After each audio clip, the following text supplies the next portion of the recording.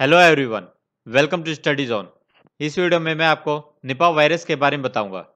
Nipah virus की वजह से अब तक केरल में कई जाने जा चुकी है और जो मृतक थे, उनके blood sample national institute of virology Pune में भेजे गए और जो सैंपल की रिपोर्ट आई, उसके मुताबिक सैंपल में इस दुर्लभ निपा वायरस की पुष्टि की गई।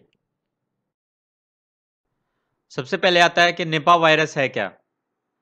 निपा वायरस का सबसे पहले पता 1998 में मलेशिया में लगा था।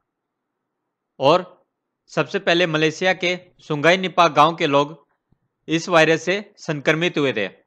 और इसी गाँव के नाम पर सुंगाई निपा गाँव के नाम पर इस वायरस का नाम निपा वायरस पड़ा। और इस दौरान ऐसे किसान इससे संक्रमित हुए जो सुअर का पालन करते थे। नेक्स्ट है कि ये वायरस कैसे फैलता है? ये वायरस चमगादड़ से फैलता है और इन्हें फ्रूट बैट कहते हैं। जब ये चमगादड़ किसी फल को खा लेते हैं या उसी फल या सब्ज़ी को कोई इंसान या जानवर खा लेता है तो वह उससे संक्रमित हो जाता है। निपा वायरस इंसानों के अलावा जानवरों को भी प्रभावित करता है और इसकी अब तक कोई भी वैक्सीन तैयार नहीं हो पाई है और इसकी शुरुआत तेज सिर दर्द और फीवर से होती है। इससे संक्रमित व्यक्ति की डेथ रेट 70 परसेंट से ज़्यादा होती है। नेक्स्ट आता है, भारत में सबसे पहले निपा वायरस कहाँ पर फैला था? तो भारत में सबसे पहले निपा वायरस पश्चिम बंगाल में फैला था और ये पहली बार 2001 में और उसके बाद 2007 में इसका पता लगाया गया था।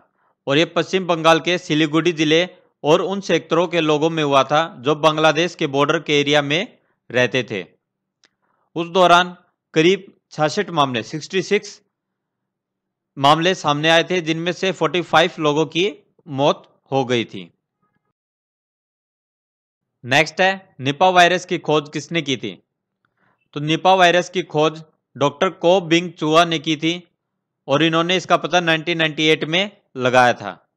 और उस दौरान डॉक्टर बिंग मलेशिया की यूनिवर्सिटी ऑफ़ मलाया से ग्रेजुएशन कर रहे थे और वे इन दोनों टेमसेक लाइफ साइंस सिंगापुर में बेतौर साइंटिस्ट काम कर रहे हैं। नेक्स्ट आता है, यह वायरस चमगादड़ से क्यों ज़्यादा फैलता है? क्योंकि चमगादड़ एकमात्र ऐसा सतनदारी यानी मैमल है जो उड़ सकता है और यह वायरस को एक जगह से दूसरी जगह तेज़ी से फैलाता है। चमगादड़ का मेटाबॉलिज्म तेज होने के कारण वायरस इनके शरीर में बिना नुकसान पहुँचाए काफ़ी समय तक ज़िंदा रह सकता है। चमगादड़ का खाया हुआ फल या सब्ज़ी खाने से इस खास तरह का फंगल इन्फेक्शन भी हो सकता है, जो फेफड़ों के साथ साथ स्पिलिन और बोनमेरा को भी नुकसान पहुंचाता है। नेक्स्ट है निपा वायरस के क्या क्या लक्षण दिखाई देते हैं? तो निपा वायरस हवा से नहीं, बल्कि एक संक्रमित व्यक्ति से दूसरे व्यक्ति में फैलता है और इससे इन्फेक्शन होने के बाद कुछ खास लक्षण देखे जा सकते हैं, जैसे कि वायरल फीवर होने के साथ साथ सिर दर्द, मिचली आना, सांस लेने में तकलीफ़, चक्कर आना, ये लक्षण दिखाई देते हैं और ये लगातार एक दो हफ़्ते दिखाई दे सकते हैं। ऐसी स्थिति में सबसे पहले फिजिशियन से राय लेनी चाहिए। नेक्स्ट है निपा वायरस से कैसे बचा जाए? तो निपा वायरस का संक्रमण चमगादड़, यानी फ्रूट बैट से फैलता है और निपा वायरस के इन्फेक्शन से बचना है तो सुअर, घोड़े, पेड़ के गिरे फल आदि से दूर रहना चाहिए।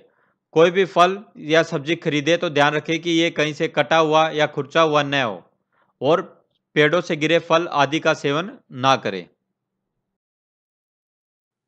Thank you guys for watching our video please subscribe to our channel study zone for preparation of upcoming exams और सब्सक्राइब के साथ आप नोटिफिकेशन बेल का भी बटन ज़रूर दबाएँ, ताकि वीडियो अपलोड होते ही आप तक पहुँच जाए। अब आप हमें फेसबुक लिंक पर भी फॉलो कर सकते हैं। हमारा फेसबुक लिंक नीचे दिया हुआ है, आप इस पर जाकर हमें फेसबुक पर फॉलो कर सकते हैं, ताकि हमारी वीडियोज़ आप तक फेसबुक के द्वारा भी पहुँच सके।